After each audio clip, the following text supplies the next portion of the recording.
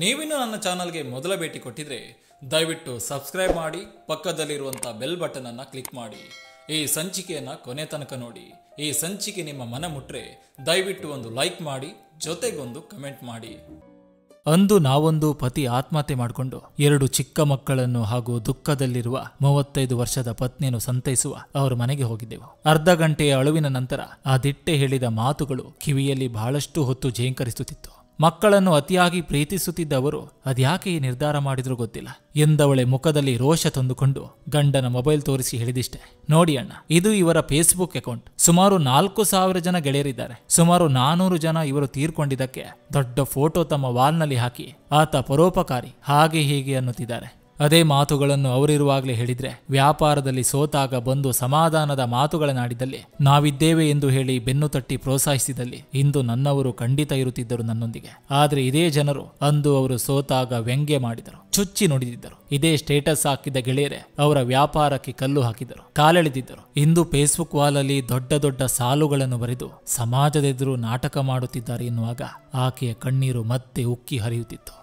ಅಲ್ಲಿ ನಿಲ್ಲಲು ಮನಸ್ಸಾಗಲಿಲ್ಲ. ಹೊರಬಂದೆ ಅಲ್ಲಿಂದ. ಆಕೆಯ ಮಾತು ಅದೆಷ್ಟು ಸತ್ಯ ನೋಡಿ. ನಾವು ನೀವೆಲ್ಲವೂ ಇದೇ ದುಷ್ಟ ಸಮಾಜದ ಭಾಗಗಳು. ಇಂದು ಫೇಸ್ಬುಕ್ ವಾಲ್ಗಳಲ್ಲಿ ವಾಟ್ಸಪ್ ಸ್ಟೇಟಸ್ಗಳಲ್ಲಿ ಒಬ್ಬ ವ್ಯಕ್ತಿ ಇನ್ನೊಬ್ಬ ವ್ಯಕ್ತಿಯ ಫೋಟೋ ಹಾಕಿದನಂದ್ರೆ ಒಂದು ಅವನ ಹುಟ್ಟಿದ ದಿನಕ್ಕೆ ಶುಭಾಶಯ ಕೋರಲು, ಇಲ್ಲ ಅವನ ಸಾವಿಗೆ ಸಂತಾಪ ಸೂಚಿಸಲು. ಯಾಕೆ ಇವೆರಡನ್ನು ಬಿಟ್ಟು ಆ ವ್ಯಕ್ತಿಯ ಜೀವನವನ್ನು, ಅವನ ಒಳ್ಳೆಯ ಕೆಲಸಗಳನ್ನು, ಅವ ಮಾಡುವ ವ್ಯಾಪಾರವನ್ನು, ಅವನಿಗೆ ಸಹಾಯವಾಗುವ ವಿಚಾರಗಳನ್ನು ಆತ ಜೀವಂತವಾಗಿರುವಾಗಲೇ ಸ್ಟೇಟಸ್ಗಳಲ್ಲಿ ಹಾಕಿ, ಶೇರ್ ಮಾಡಬಾರದು. ಅವನ ಕಾಲೆಳೆಯುವುದು ಬಿಟ್ಟು ಆತ ವ್ಯಾಪಾರದಲ್ಲಿ ಯಶಸ್ಸಾದಾಗ, ಹೊಸ ಮನೆ, ಹೊಸ ಕಾರು ಕೊಂಡಾಗ ಮನಸ್ಸಿನಿಂದ ಶುಭಾಶಯ ಕೋರಿ ಯಾಕೆ ಬರಿಬಾರ್ದು? ಹಾಗೆ ವ್ಯಾಪಾರದಲ್ಲಿ ಸೋತಾಗ ಆತನ ಕಾಲೆಳೆಯುವುದು ಬಿಟ್ಟು ಅವನಿಗೆ ಧೈರ್ಯ ತುಂಬಿ ಮಾನಸಿಕವಾಗಿ ಅವನನ್ನು ಬಲಗೊಳಿಸುವ ಕೆಲಸ ಮಾಡೋಣವೆ. ಆತ ಸತ್ತಾಗ ಹೊಗಳುವುದ ಬಿಟ್ಟು ಆತ ಇರುವಾಗಲೇ ಪ್ರೋತ್ಸಾಹಿಸಿ ಬೆನ್ನು ತಟ್ಟುವ ಕೆಲಸ ಇಂದಿನಿಂದಲೇ ಮಾಡೋಣವೇ? ಸತ್ಯ ತಾನೇ ಗೆಳೆಯರೆ, ಯೋಚಿಸಿ ನೋಡಿ. ನಾವು ಯಾಕೆ ಬದಲಾಗಬಾರ್ದು? ಆತ ಟ್ರಕ್ ಚಾಲಕ, ರಸ್ತೆ ಬದಿಯಲ್ಲಿ ಕೂತಿದ್ದ ನಾಯಿ ಮೇಲೆ ಚಕ್ರ ಹರಿಸಿದ್ದ. ಕಾಲೆರಡು ಅಪ್ಪಚ್ಚಿಯಾಗಿತ್ತು. ಮುಂದಿನೆರಡು ಕಾಲಲ್ಲಿ ಸೊಂಟ ಕಾಲನ್ನು ಎಳೆಯುತ್ತಾ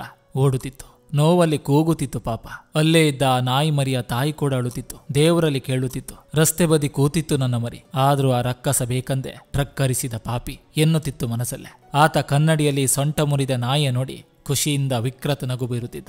ಎದುರಿಂದ ಬಂದ ಇನ್ನೊಂದು ಟ್ರಕ್ ಅನ್ನು ಗಮನಿಸಲಿಲ್ಲ. ಡಮಾರ್ ಶಬ್ದದೊಂದಿಗೆ ಅಪಘಾತವಾಗಿತ್ತು. ಇವನ ಟ್ರಕ್ ಮಗುಚಿ ಬಿದ್ದಿತ್ತು. ಅವನ ಕಾಲ ಮೇಲೆ ಕಾಲು ಸೊಂಟದವರೆಗೆ ಅಪ್ಪಚ್ಚಿಯಾಗಿತ್ತು. ಕಣ್ಣು ತೆರೆಯುವಾಗ ಆಸ್ಪತ್ರೆಯಲ್ಲಿದ್ದಾತ ವೈದ್ಯರು ಅವನ ತಾಯಿ ಬಳಿ ಹೇಳುತ್ತಿದ್ದರು ಸಾರಿ ಜೀವ ಉಳಿಸಲು ಎರಡು ಕಾಲುಗಳನ್ನು ಕತ್ತರಿಸಬೇಕಾಯಿತು. ಸ್ಪೈನಲ್ ಕಾರ್ಡ್ಗೆ ಪೆಟ್ಟಾದ್ರಿಂದ ಇನ್ನು ಜೀವಮಾನವಿಡೀ ಹಾಸಿಗೆಲೇ ಕಳೆಯಬೇಕು ಎಂದಾಗ ಆ ತಾಯಿ ದೇವರಲ್ಲಿ ಕೇಳಿದಳು, ನನ್ನ ಮಗನಿಗೇಕೆ ಈ ಶಿಕ್ಷೆ? ಎಂದು. ಈಗಷ್ಟೇ ತಾಯಿ ನಾಯಿಯ ಕಣ್ಣೀರು ಹಾಗೂ ಇಲ್ಲಿ ಹೆತ್ತ ತಾಯಿಯ ಕಣ್ಣೀರು ಎರಡನ್ನೂ ಕೇಳಿಸಿಕೊಂಡ ಭಗವಂತ ಮಾತ್ರ ತನ್ನಷ್ಟಕ್ಕೆ ನಗುತ್ತಿದ್ದ. ಹೌದಲ್ವೇ? ನಮ್ಮಲ್ಲೂ ಇದ್ದಾರೆ. ಇನ್ನೊಬ್ಬನ ಮನೆಗೆ ಕಲ್ಲೆಸೆದು ಅವನು ಒದ್ದಾಡುವುದನ್ನು ನೋಡಿ ಖುಷಿ ಪಡುವ ವಿಕೃತ ಮನಸ್ಸಿಗರು. ಅವರಷ್ಟಕ್ಕೆ ಅಂದ್ಕೊಳ್ತಾರೆ, ನಾನು ಕಲ್ಲು ಹೊಡೆದದ್ದನ್ನು ಪುಣ್ಯಕ್ಕೆ ಯಾರೂ ನೋಡಿಲ್ಲ ಎಂದು. ಆದರೆ ಮೇಲೆ ಭಗವಂತ ಕಲ್ಲಿಗೆ ಪ್ರತಿಯಾಗಿ ಬಂಡೆಕಲ್ಲು ಎಸೆಯುವ ಯೋಚನೆಯಲ್ಲಿರ್ತಾನೆ ಎಂಬುದು ಮಾತ್ರ ಮರೆತಿರ್ತಾರೆ ಅಲ್ವೇ? ಇದೆಲ್ಲವ ನೋಡುತ್ತಾ ಭಗವಂತ ಮಾತ್ರ ತನ್ನಷ್ಟಕ್ಕೆ ತಾನೇ ನಗುತ್ತಿರ್ತಾನೆ.